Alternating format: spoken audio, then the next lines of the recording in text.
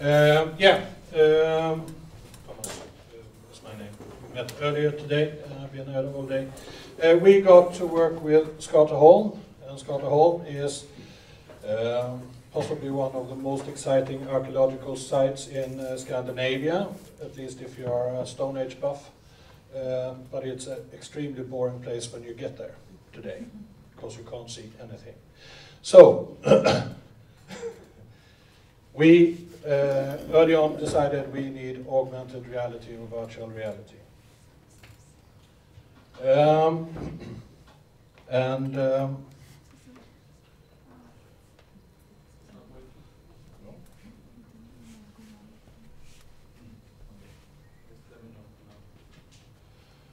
Um, and to facilitate that, you need to have a smartphone or an iPad or in the short future here, uh, virtual reality glasses, or something like that.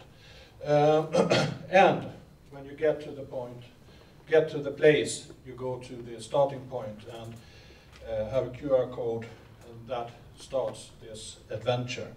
Um, a ghost appears. Skateholm is uh, a Stone Age settlement, but also a um, graveyard. And this ghost needs help to go back into the grave and uh, needs to collect grave goods, and you need to help them do that. Um,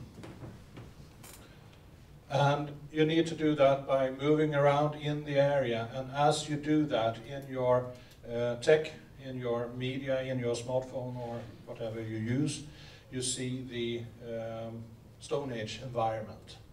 And you do different tasks, like for example, um, hunt or uh, make a fire or things like that. When you've done all the tasks, you are to uh, find the actual place where this person uh, was buried and then you need to deposit it and also deposit something of your own.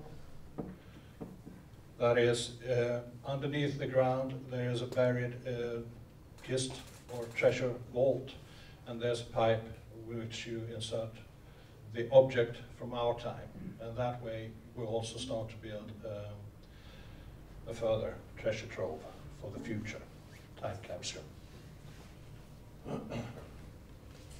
Anybody else in the group wants to add something?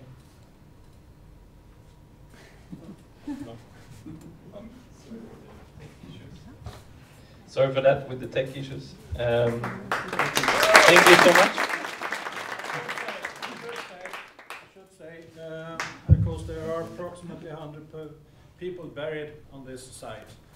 Uh, what you could do is, is make uh, several individuals, so you can actually revisit the place and go a different uh, tour or solve different problems. Great. Thank you. Thank you so much. Yes. Feedback. We have a feedback panel that have new, fresh eyes on the ideas that can.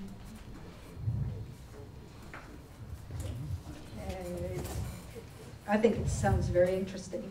Uh, and I like that, that you can go several tours, that you can go back and, and, and do something else there. But I wonder, do you have to have, um, to mark it in any way? Or how do you do it? You just have that open field? Or do you have to, to build something? Or The only thing you need to build is the starting point. And that is more or less opposed to the QR code. Uh, the, the whole idea is this is an archaeological site. And during the excavations, uh, they, there were, they documented everything. And you can georef reference it back to the actual place where everything has been excavated. So you can actually find the exact spot where this uh, individual's grave were. You, and that's what you do in the virtual reality part. So the only thing you need is a starting point and somewhere where you will download the app or whatever. Thank you. Uh, we have some time limits for everybody to succeed to tell their projects. So we will have maybe time for two questions, and basically you will have two minutes to make people interested to talk more about your project after the presentation. And so, one other, maybe Andre wants to say Uh, something short.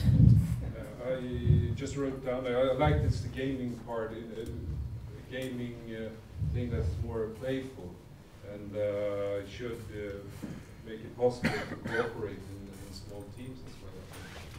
Um, I also like the um, the idea of uh, passing on things to the future as well. Opens up for some reflections as well.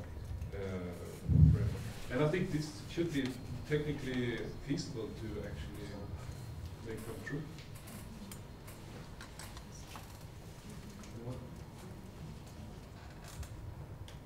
Uh, you, seems like you'll be thinking like the, the point of entry is quite easy to, to join in.